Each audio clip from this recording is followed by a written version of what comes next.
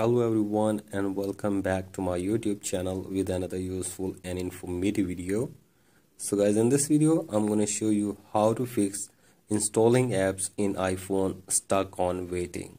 So guys if you are trying to install apps in your iphone or ipad but while trying to download the apps or installing the apps it is stuck on waiting. So guys if you're also facing this problem here i will show you how can you fix it so guys for that you have to simply watch this video till the end. So guys first of all go back to your home screen and now drag down your control center and make sure that your internet connection is working properly. So guys after this open settings and now scroll it below. Tap on general. Tap on software update and make sure that you are using the updated version. Again go back and now scroll it below and tap on iphone storage and make sure that there is enough space for you to download and install the apps in your device. So guys do this and check if the problem is fixed or not.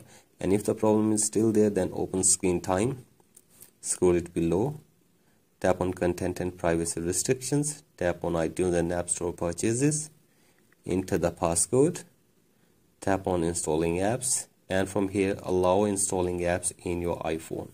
So guys do this and check if the problem is fixed or not and if the problem is still there then open general section again.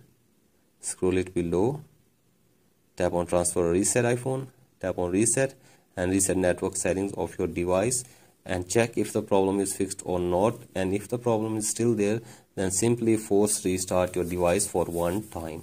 So guys for that press and release the volume up button and then down button and keep holding the power button until your device force restarts.